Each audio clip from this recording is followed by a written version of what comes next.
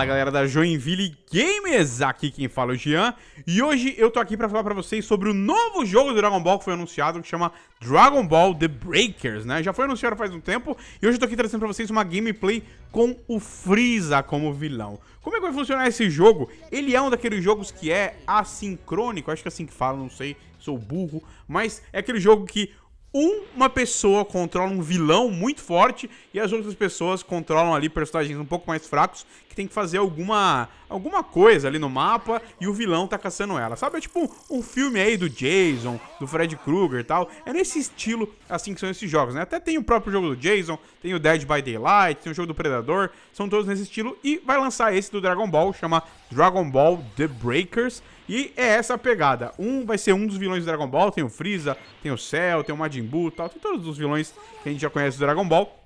E os outros vão ser pessoas ali, players que me parece que são criados pelas próprias pessoas, né? Eles têm ali aparências genéricas tal da vida. Até tem uma que controla a Bulma, outra controla o Long, mas não sei se dá pra escolher ali entre personagem como Goku tal, não sei como é que vai funcionar nesse quesito, mas é, e você escolhe esse personagem e você tem que coletando ali, tem que como coletar as esferas do dragão, tem como fazer tal coisa, tem que fugir do cara e tentar fazer alguma coisa pra você conseguir fugir e escapar dele, né? Porque ele tem muito mais poder que você. E parece estar tá muito da, da, hora esse jogo, como vocês estão vendo aí na gameplay, porque, por exemplo, o Freeza. O Freeza ele tem vários níveis de evolução no Dragon Ball, né? Ele começa com aquela né, aquela navezinha que ele tem, sentadinho, depois ele sai da nave, ele tira a armadura, aí ele vai pro nível 2, ele vai pro nível 3, ele vai pro nível 4, ele vai pro nível full power, então tem, né, como em todo Dragon Ball, todos os personagens têm mais ou menos isso, tem várias evoluções, isso também vai ter nesse jogo, então o foco vai ser bem nisso, né, em você ter essa diferença entre um player e outro,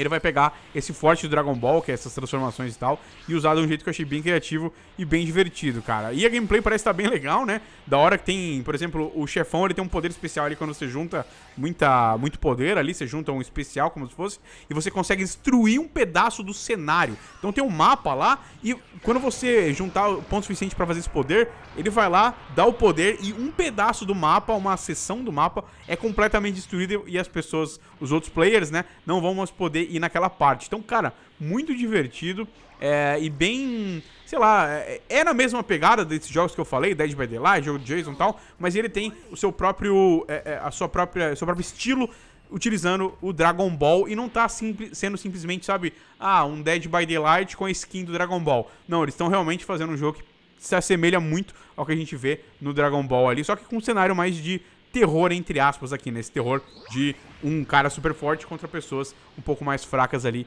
é, que estão sendo afetadas por isso. Então, cara, fique, preste muita atenção. Eu tinha ouvido falar já que ia lançar, mas eu não tinha visto nenhuma gameplay. Agora começaram a sair algumas gameplays na internet. Essa que eu tô trazendo pra vocês do Freeza, mas tem do Cell e tal. Então vão procurando as outras aí que você achar na internet pra você ver por você. Mas eu tô muito empolgado. Acho que vai ser um jogo bem divertido é, e diferente, né? Uma parada diferente. A gente tá acostumado a ver jogo Dragon Ball.